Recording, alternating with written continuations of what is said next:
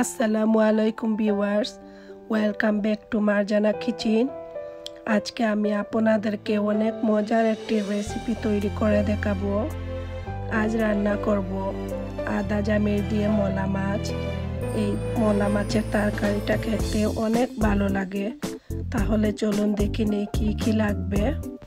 এখানে আমি দুই প্যাকেট মলা মাছ নিয়েছি। এটা যে কোনো গ্রোসারি শপে কিনতে পাওয়া যায়। পাঁচ থেকে ছয় টুকরো আদা জামির, দুইটা পেঁয়াজ কুচি করে কেটে নিয়েছি। রসুনের কোয়া পাঁচ থেকে ছয় টুকরো। ধনে পাতা, কাঁচামরিচ, মরিচের গুঁড়ো, লবণ আর হলুদ। তেল তিন টেবিল চামচ। প্রথমে আমি একটি হাঁড়ি বসিয়ে তার মধ্যে তেল দিয়ে দেব। তেল গরম হয়ে গেলে ছেড়ে দেব রসুন, বাদামি কালার হয়ে গেলে এর মধ্যে ছেড়ে দেব পেঁয়াজ।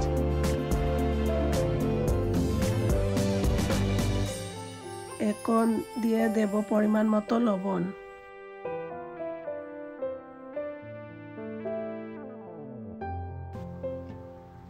পেঁয়াজটা বাদামি কালার ভাজা হয়ে গেলে মশলাটা দিয়ে দেব। এখানে আমি দুই চা চামচ মরিচের গুঁড়া আর দেড় টেবিল চামচ হলুদ গুঁড়ো দিয়েছি। এখানে আমি আর কোনো ধরনের মশলা ইউজ করব না, যেহেতু আমি মলা মাছটা আদা জামির দিয়ে রান্না করব। আদা জামিরের মধ্যে অন্য কোনো মশলা দিলে আদা জামিরের ফ্লেভারটা নষ্ট হয়ে যায়। চার পাঁচ মিনিট মশলাটা বাজার পর একটু পানি দিয়ে দেব।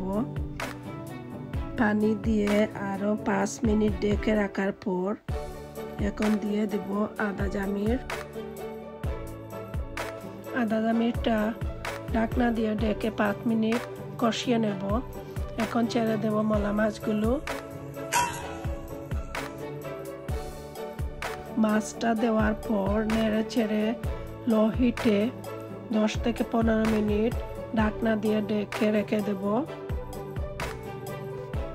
জুলের জন্য আমি এক কাপ পানি দিয়েছি। ঢাকনা দিয়ে ডেকে চুলায় মিডিয়াম আছে পাঁচ মিনিটের মতো রেখে দেব। এখন দিয়ে দিচ্ছি কাঁচামরিচ, সাথে দিয়ে দিচ্ছি ধনিয়া পাতাটা।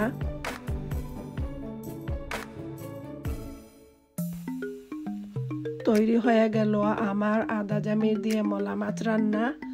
আশা করি আমার রেসিপিটা ভালো লাগলে অবশ্যই লাইক শেয়ার আর সাবস্ক্রাইব করবেন থ্যাংক ইউ ফর ওয়াচিং